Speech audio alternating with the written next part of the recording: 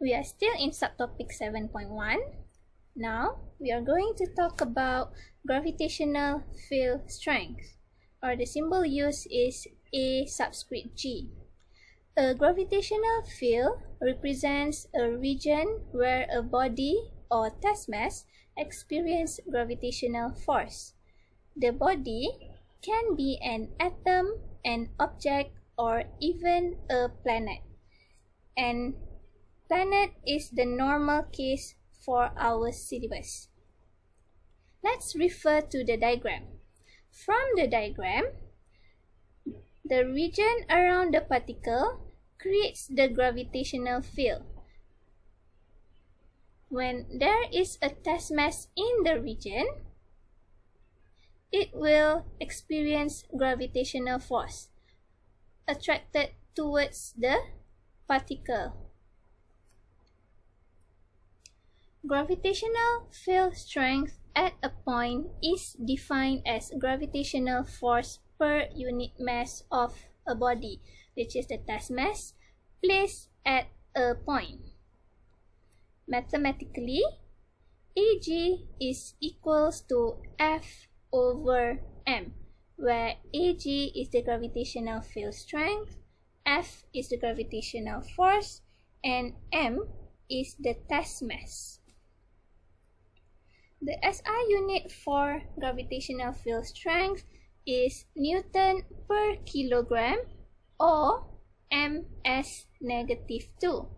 It is a vector quantity and also known as gravitational acceleration or simply free fall acceleration. Its direction is always in the same direction as gravitational force.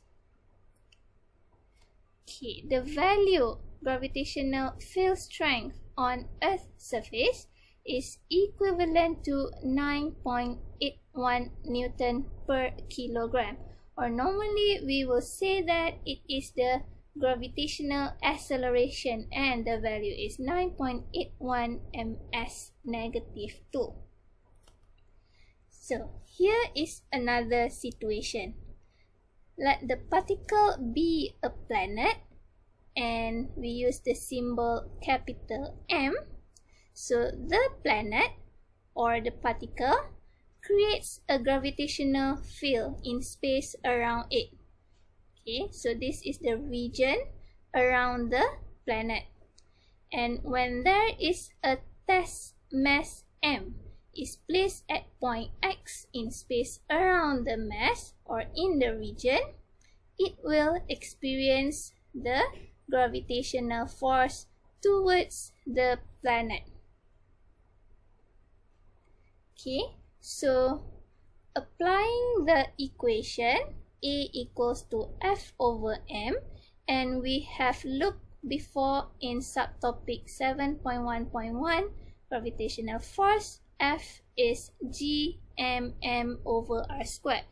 So when we substitute the equation of F into the equation of AG, we will finally end up with equation of AG equals to gm over r squared, where g is the universal gravitational constant, the same that we use in equation F, capital M is the mass of the planet and r is the distance between the center of planet and the point where the test mass is placed.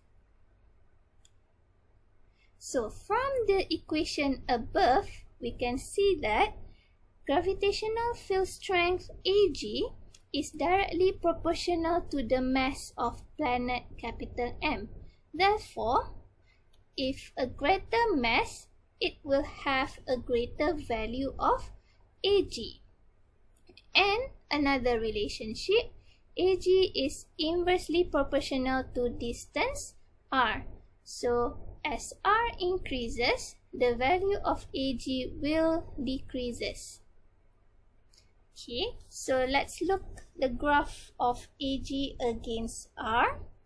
So Ag varies with altitude or distance or height and depth from the surface of a planet. Let's take Earth as example. Okay. When the distance r is less than the radius of the planet, the relationship between gravitational field strength Ag and distance r is directly proportional. So we will have a straight line graph. And when the distance r is at the radius of this planet, okay, or simply said at the surface, the value of Ag will be equivalent to 9.81. However, as r is bigger than the radius of Earth, the relationship between Ag and r will be inversely proportional. Therefore, the, the graph will decrease as r increases. This is why when you are far away from the center of a planet, you will feel weightless. This slide shows the summary for gravitational field and the different distance from the center of the earth.